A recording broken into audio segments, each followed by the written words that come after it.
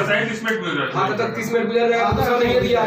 तो उसको एक साथ पार पिला दिए। हाँ। और इधर हम इसको बच्चा को दूध पिलाने की तैयारी करेंगे। तो बच्चा को कैसे पिलाएँगे?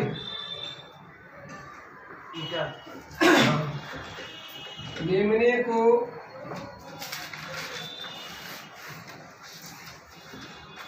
मेमने को माँ का दूध पहला खीस खीस बोलते हैं उसको। पहला खीस या फेनुस बोलते हैं। में दूध समझ लीजिए, दूधों का के लिए होता है ताकि सब लोग खीस होता है।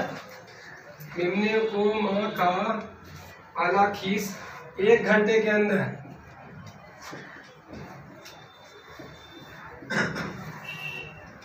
पिलाएँ वैक्सीनेशन का आविष्कार इन्हीं से हुआ था ये वैक्सीन हो गया। एक घंटे के अंदर में अपने मेमने को यदि आपने पिला दिया तो उसका वैक्सीन हो गया। तीन महीना बाद अब पीटी का वैक्सीन आएगा तब तक तीन महीना ही कुछ होने नहीं देगा। वायरल बीमारी। हाँ इसका दूध है। इसको मेमना को पिला देना है।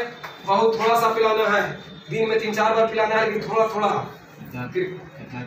जैसे नहीं उसे नहीं है। बॉडी वेट का शरीर का दसवां भाग पिलाना है लेकिन पहला दिन आंकड़ा नहीं लगाना है। पहला दिन थोड़ा सा चटा दिए फिर हटा दिए दो घंटा बाद फिर कर दिए। कल से हम बॉडी वेट के अनुसार पिलाएँगे। शरीर का दसवां भाग यदि एक किलो है तो हम सौ ग्राम पिलाएँगे। कल से। तो सर सौ ग्राम पता कैसे चलेगा सर? तो अंदाज एक अंदाज आपको रखना होगा। अंदाज? हाँ, अंदाज रखना होगा। ये अंदाज में अंदाज देगा हाँ नहीं कर पाएगा नहीं कर पाएगा सर दूध के तो फिर तीन मिनट के बाद ये दूध को तो गाड़ना पड़ेगा ना। हाँ गाड़ना है। होश में गाड़ना है। पूरा झाड़ गाड़िएगा धार के तो फिर लिंक मिल्क फीवर हो जाएगा। मिल्क फीवर बीमारी जी पर आता है। तो आपको देखिए क्या करना है। पिलाना कैसे भी सब ऐसी का पिला दीजिएगा। बकरी बच्चा दे दिए, बच्चा उठाए उसके मुँह में। बकरी में लगा दीजिए। वो तो नाली वाला काम होगा तो म्यूटिटी तो बढ़ेगा ही। ये म्यूटिटी हमको रुकना है मेरे कुछ क्लेम करना है। जो निम्ना है वो एकदम बचने बचना है। तो क्या करेंगे? लेकिन पिलाया। खीस पिलाने में सावधानी।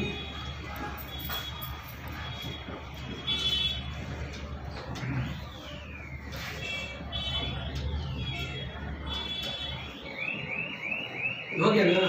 अब माँ का जो पहला खीस है पिलाने में सावधानी करना है।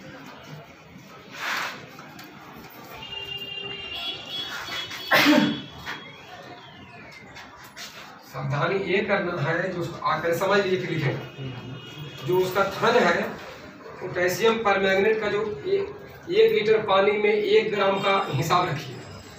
वो आपका आंकड़ा मिलाना आपका काम में मिल जाएगा। एक लीटर पानी में एक ग्राम पोटेशियम मिला ही लीजिए। उससे क्या करना है ठन को धो देना। पूरा धोना नहीं है। पानी पानी हो जाएगा उसमें आपको उसका माहौल में ना पानी नहीं करना है कपड़ा डाल के उसका पोछ देना है। एक कपड़ा सूखा गया फिर दूसरा कपड़ा से पोछ देना है साफ़ से साफ़ हो गया। उसके बाद क्या करना उसका थन को इसे पकड़ना है। एक धार दूध डाल देना है। क्यों? क्योंकि वो कहना पहला बच्चा उसका पिया था उसको या पहले बार बच्चा दे रही है। उसका आगे जो छीट है बंद है उसमें कोई कीटाणु जीवाणु कुछ भी हो सकता है। बच्चा चुप के अभी दूसरा दुनिया से आया। डाल दिए पोठी भी निकल गया उसका एक हाथ निकल गया। फिर बच्चा को आप बच्चा को मुँह में अपने गुड़ लगाया था, इसलिए बच्चा चटकारा ले रहा।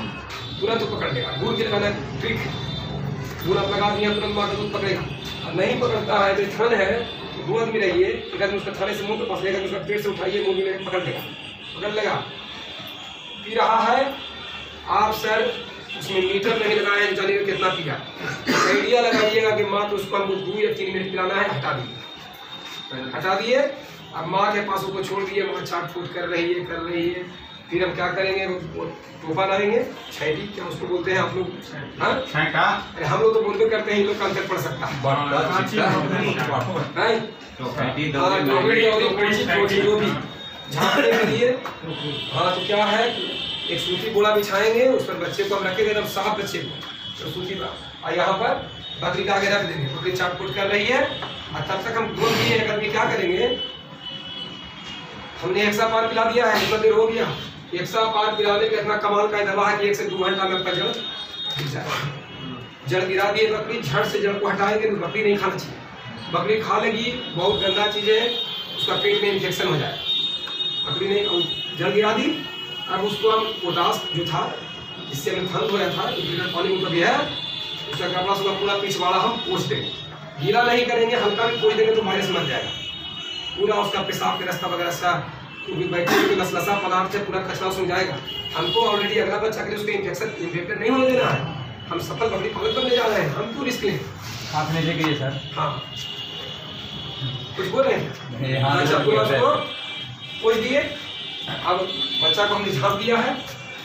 मैं झाँपे भी नहीं है माँ के पास रखे चाट बुलार कर रही है। आप हम एक दो घंटा वहाँ आप ऐसे भी नहीं हटिएगा बच्चा दिया है लगन बुतरू, आपका ठीक है।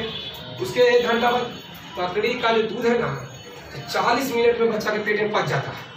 खीस में कोलेस्ट्रॉल की मात्रा है, दूध से पच्चीस गुना ताकतवर है। ये पिलाना बहुत ज़रूरी है यदि आपने इतना देहात में प्रचलन है कि जड़ जब तक नहीं गिरा गिराए नहीं पिलाओ। ऐसा आपको नहीं करना है, जड़ गिराए ना गिराओ तब पिलाना आपने वैक्सीन लगा दिया उसको पिलाए उसके बाद आपको एक घंटा दो घंटा फिर थोड़ा सा पिला देना है और टोकरी में उसको झाँप देना है। माँ यहाँ है तो बच्चे को इतना दूर में बांधना है कि कम से कम उसमें सट सके पीछे वाला लेकिन मुँह से उसको टोकरी न उल्टे। पैर से पूरा अपने पास कोशिश करती है खींचने का वो कर देना कई बार बच्चा जन्म लेता है। तो अंधा रहता है। है? तो इसका बाजा बजाइएगा अभी दो दिन बोल। रहा खान को पोटेशियम पर हंड्रेड के नाम से। नहीं, पूछना आपका अधिकार है, लेकिन बगल वाले सब लिख रहे हैं तो हम भी लिख सकते हैं। ध्यान देना है ना? कहा जा साहब एकदम कुंगी बजा ही देना है। अच्छा ठीक है। अब क्या होता है कई बार बकरी, बच्चा दे और बच्चा अंधा है। हर बिंदु पर हम लोग को सोचना है। हम किसी डॉक्टर के पास फ़ोन क्यों करेंगे, सर, बच्चा जन्म लिया है इधर उधर भागा चलता है, क्या करें?